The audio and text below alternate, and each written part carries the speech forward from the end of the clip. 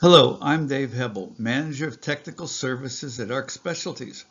In this presentation, I'm going to cover the electroslag strip welding process, how it works, the equipment used, and what you can expect in the way of deposition rates and weld metal chemistries.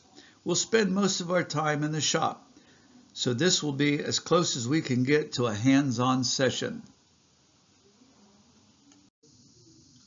As an introduction, there are two types of strip welding processes for corrosion-resistant overlays. There's submerged arc welding and electroslag welding. The equipment and the strip are the same for both processes. The main difference is the welding flux.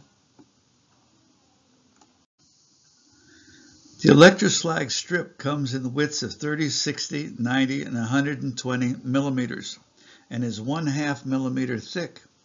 The 30 and 60 millimeter strips are the most common sizes that I've worked with.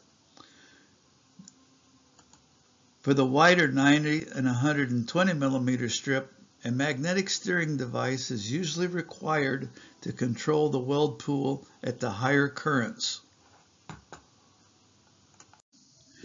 As I mentioned earlier, the big difference is the welding flux. Electroslag fluxes have a higher electrical conductivity when in the molten state. The other difference is the welding voltage. The submerged arc process operates at 28 to 30 volts, while the electroslag process operates at 24 volts. Here we see the wire feed motor with the wire bus bar removed and the strip welding head installed. With submerged arc welding, there is an arc at the end of the strip, just like there is when welding with a wire. This means we need to have flux on both sides of the strip to cover the arc that is operating at 28 to 30 volts. As I stated earlier, with the electroslag process, the flux has a higher electrical conductivity when it is in the molten state.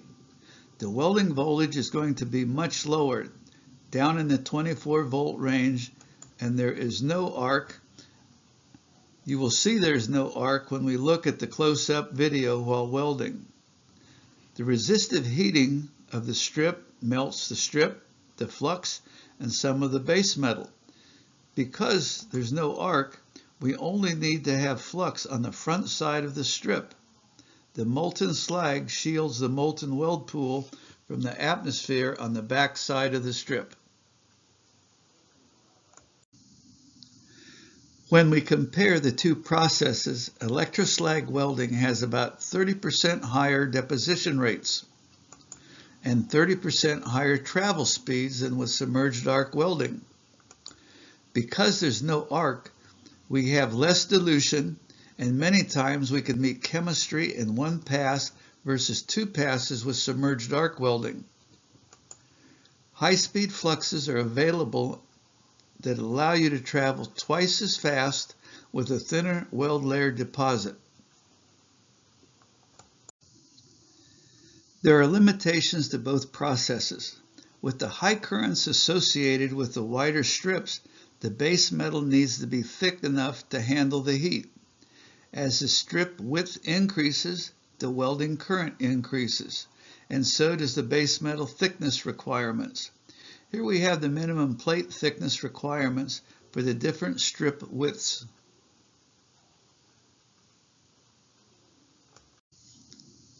Let's take a look at the setup for making a 625 corrosion resistant overlay using a 30 millimeter strip we will run a 30 millimeter stick out with a 30 millimeter flux depth. Our welding parameters will be 575 amps, 24 volts at 16 centimeters per minute travel speed with a step over of 1 inch or 25 millimeters.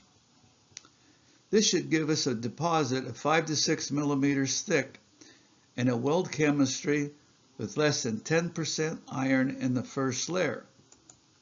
Our deposition rate will be 25 pounds per hour. Weld chemistry can be controlled by changing the travel speed. If we go faster, the penetration increases and the weld deposit gets thinner, so we have more base metal dilution. If we slow down, the penetration decreases as the deposit becomes thicker and we have less base metal dilution. We can also control chemistry with the welding current. As the current increases, we deposit more weld metal, decreasing base metal dilution. Reducing the current makes a thinner deposit so we will have more base metal dilution. Our 30 millimeter stickout is measured between the contact jaws and the base metal.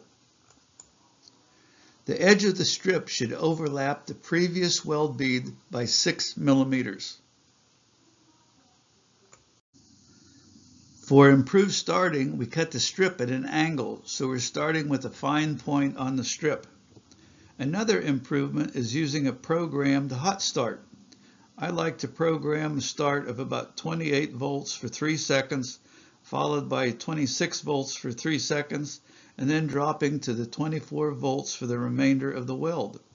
The higher starting voltage helps us get the molten slag and weld pool started. The flux depth is 30 millimeters, so it should be the same height as the contact jaw. When making short welds on a test plate, I don't use the flux hopper and flux funnel. I just pour the flux directly on the plate as you'll see in my photos and videos. To start, we need to enter the welding parameters into the welding control. We'll run 148 centimeters per minute strip speed, 24 volts, at 16 centimeters per minute travel speed. With these parameters, we should have about 570 to 580 amps.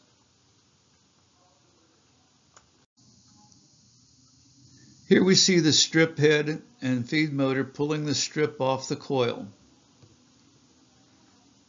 The welding action should be smooth with an occasional pop. You'll notice that the strip pushes the flux out of the way in front of the strip with some of it flowing around the sides of the strip. The center of the weld should have the molten slag exposed on the surface, and the slag should be self-peeling as it cools. The surface should be smooth and free of porosity.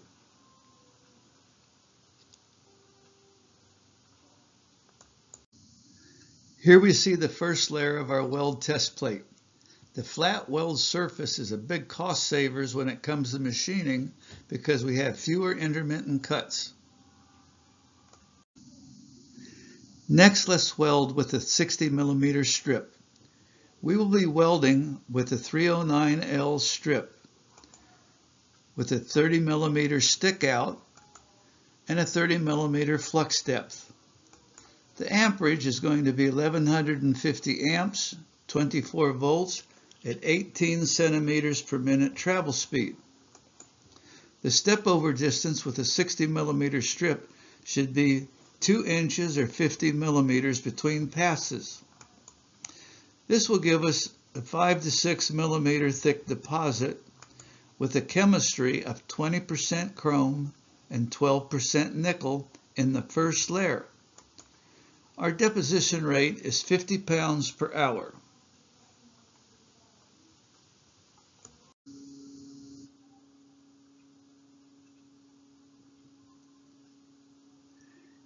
Here we're welding with a 60 millimeter strip. Once again, we see the bright molten slag on top of the weld pool.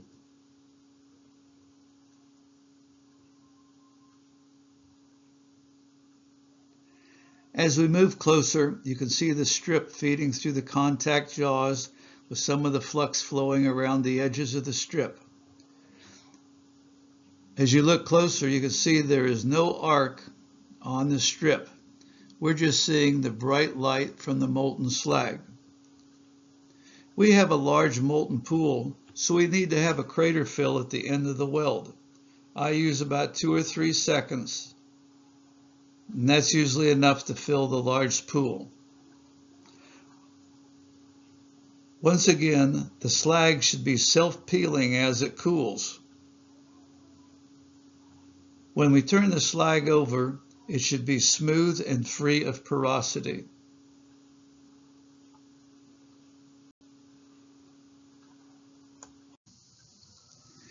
Here we see our 2 inch or 50 millimeter step over between weld passes. Our finished weld is about 6 millimeters thick with a chemistry of 20 chrome and 12 nickel in the first layer. All of our welds so far have been on flat plate, so let's move on to circumferential welds. When cladding pressure vessels or pipe, the off-center distance is critical to the weld chemistry and base metal fusion. Moving the weld head uphill or downhill from the center line will have a big effect on the dilution of the base metal and the weld chemistry. For circumferential welds, a small X-ray diffraction analyzer or PMI gun is very useful for checking the weld chemistry and positioning of the weld head during production. Both welding processes have large weld pools. Molten metal and molten slag still run downhill, so we need to keep the weld pool on a flat plate or near the center line of a round vessel or pipe. We can make circumferential welds on the inside or outside as long as we keep the weld pool small enough that it won't run off the surface. These are the approximate minimum diameters for making circumferential welds on the inside and outside of vessels. Let's look at this drawing with the pipe rotating in the clockwise direction. If we are welding on the outside before top dead center, we're welding downhill, riding the weld pool, so penetration is going to decrease. This will cause our weld chemistry to increase. Using our stainless steel example, our chrome and nickel will increase. If we're welding on the outside after top dead center, we're welding uphill on the leading edge of the weld pool, so the penetration is going to increase and our weld chemistry, chrome and nickel, will decrease.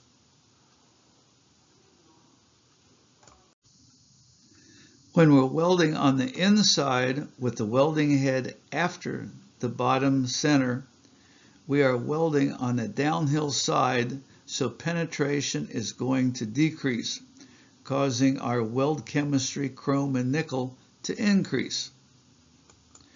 If we're welding on the inside and the weld head is before the center of rotation, we're welding uphill, so penetration increases with our weld chemistry, chrome and nickel decreasing. So now that I've confused everyone, let's make a weld. Here we're welding on the outside of a 32 inch pipe with a 30 millimeter 625 Inconel strip. As the pipe rotates, the unused flux falls off the pipe and into a flux pan for recovery and recycling. The solidified slag is self-peeling and falls off by itself.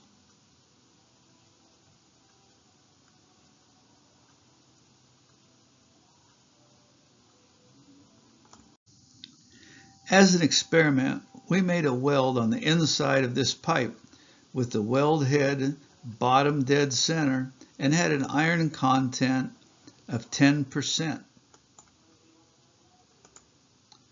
Moving the head one inch ahead of the center of rotation increased the iron content to 20%. Moving the weld head one inch after the center of rotation reduced our iron content to 5%. The off-center distance is a critical variable when making circumferential welds. It's a balance between weld chemistry and weld penetration. I get nervous when the chemistry goes below 5% in a single layer on small diameters. You can't risk the lack of fusion between the weld overlay and the base metal, and that's controlled by our off-center distance. You don't have to be off by much to be out of chemistry spec. Here we see the weld step over on our pipe weld. Depending on the equipment used, you can use a continuous weld spiral or a step over. For 30 millimeter strip, the step over should be 1 inch or 25 millimeters. When we cut our weld in the longitudinal direction, the fusion line should be straight with a 5 to 6 millimeter deposit thickness. Obviously this is on a flat plate. The weld cross section across the ends of the weld beads will usually have a small ripple where the weld beads overlap, but it's only about one millimeter. During our setup, I showed a six millimeter overlap of the strip on the previous weld bead.